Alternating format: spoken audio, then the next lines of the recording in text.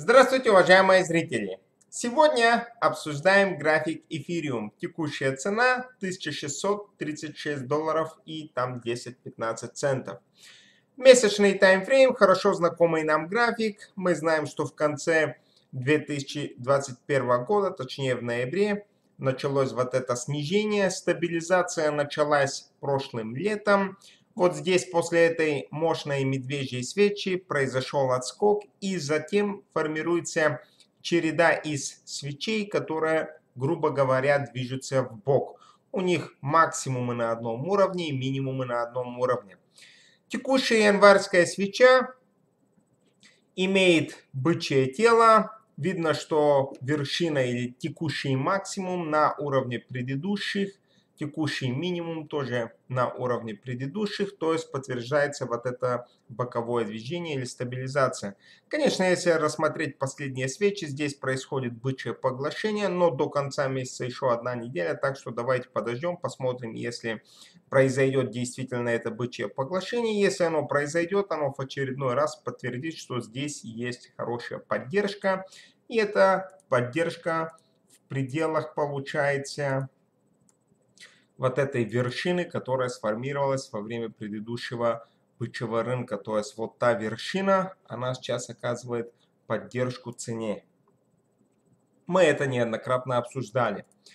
Недельный таймфрейм, зигзаги, движение вниз. Вот здесь происходит текущий отскок. Видно, что у последних свечей есть бычье тело, плюс минимумы повышается и максимумы. Это подтверждает тот факт, что есть некая а, такая покупательная сила, которая подталкивает цену. На самом деле, что я хочу отметить, на что я сейчас обращаю внимание на недельном таймфрейме, это если мы перейдем на линейный график. Вот практически предыдущие падающие вершины. Вот здесь вершинка, здесь вершинка, здесь вершинка и падающие впадины.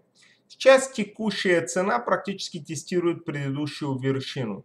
Очень важно, если она сможет перешагнуть предыдущую вершину, если затем начнут рисоваться впадины выше предыдущих. Если это подтвердится, то это будет подтверждать тот факт, что скорее всего здесь формируется впадина. Впадина на тяжелом графике.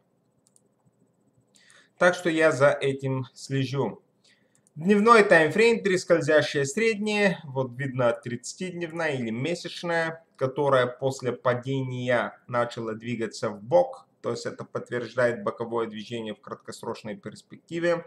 Цена на данный момент находится выше этой скользящей средней, ну чуть выше. 90-дневная или трехмесячная или квартальная тоже практически падала, сейчас пытается начать двигаться в бок. Хороший факт, что быстрая перешагнула медленную, то есть это подтверждает появление поддержки на данный момент. И если этот отскок продолжится, то а, ближайшая цель это годовая скользящая средняя. Вот она, годовая скользящая средняя, которая все-таки продолжает снижаться, а, которая все-таки выше цены. То есть а, ну, на тяжелом таймфрейме получается все еще преимущество от медведей. Но если рано или поздно цена перешагнет зеленую линию, это будет подтверждать или увеличивать вероятность того, что здесь формируется практически впадина. И на 4-часовом таймфрейме мы отслеживали все вот эти зигзаги вниз, сопротивление, которое потихонечку график ломал.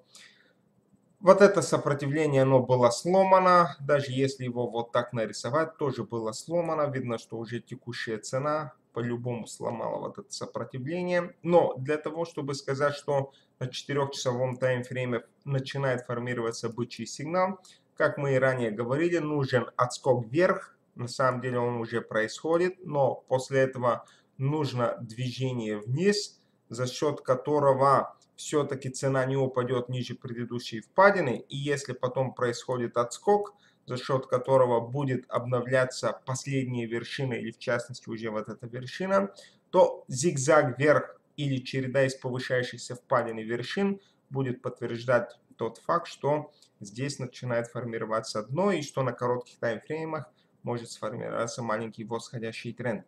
На данный момент у меня на этом все, друзья. Спасибо за ваши просмотры. Поделитесь вашим взглядом по графику эфириум в качестве комментария ниже этого видео. А так я вам всем желаю отличного дня, удачи на финансовых рынках, здоровья на первом месте и до следующего обзора. Спасибо за просмотр.